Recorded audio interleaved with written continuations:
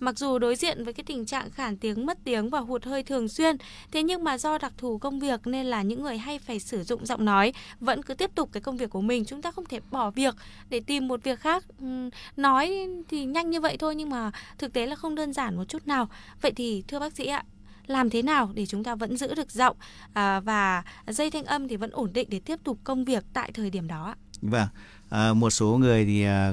tiếng hoặc là có nguy cơ khản tiếng à, thì ờ, vẫn cứ phải ờ, đi làm và vẫn cứ phải sử dụng giọng nói của mình, đặc biệt là sử dụng giọng nói trong cái công việc của mình như là giáo viên, người bán hàng hoặc là vẫn phải làm việc trong môi trường tiếng ồn. Thế thì làm sao mà để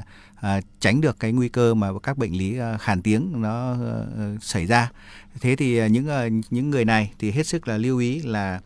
phải cần dành thời gian nghỉ ngơi À, hạn chế nói to nói nhiều để hạn chế như vậy thì ta cần phải sử dụng các thiết bị hỗ trợ như là loa à, rồi là micro à, và trong quá trình nói ta phải có kỹ năng nói làm sao vẫn truyền đạt được các thông tin à, đến cho những các cái đối tượng của mình à, cần truyền đạt và đồng thời phải có cái, cái nghỉ à, ngắt quãng ở những cái lúc à, giọng nói hoặc là nghỉ ngơi để làm sao bảo đảm cho được à, vẫn à, truyền đạt được cái thông tin và à, hạn chế được cái à, nói nhiều. À, một vấn đề nữa là khi mà ta nói nhiều ờ, như vậy thì nó rất dễ là mất ờ, nước ở vùng hầu họng cũng như là mất nước ờ, của cơ thể. Cho nên là ta phải uống nước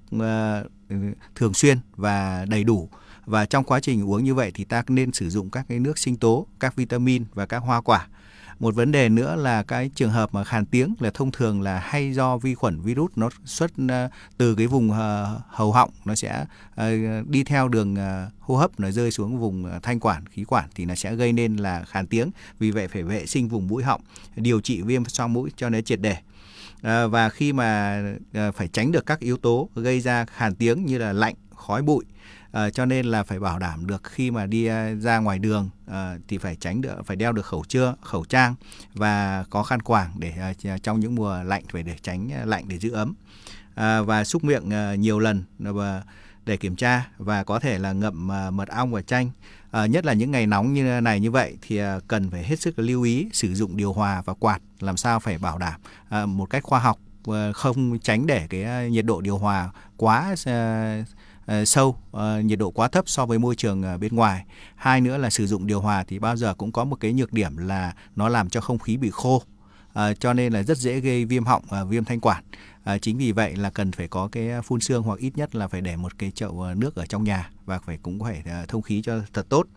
À, ngoài ra thì à, có những trường hợp này có thể à, xông à, vùng mũi họng bằng các thước à, bằng các cái à, lá thơm thì cũng bảo đảm được là à, bên cạnh đó là chúng ta vẫn có thể sử dụng giọng nói trong các công việc mà sẽ hạn chế được các cái khàn tiếng. À, ngoài ra thì à, những cái người mà nói to nói nhiều à, và sử dụng thường xuyên như vậy thì à, có thể sản à, sử dụng các cái bài thuốc à, à, à, dân gian bài thuốc đông y cây nhà lá vườn thì cũng có thể là hỗ trợ cho để dự phòng được khàn tiếng. Thế còn nếu mà không có thời gian chế, chế biến thì có thể sử dụng sản phẩm tiêu khuyết thanh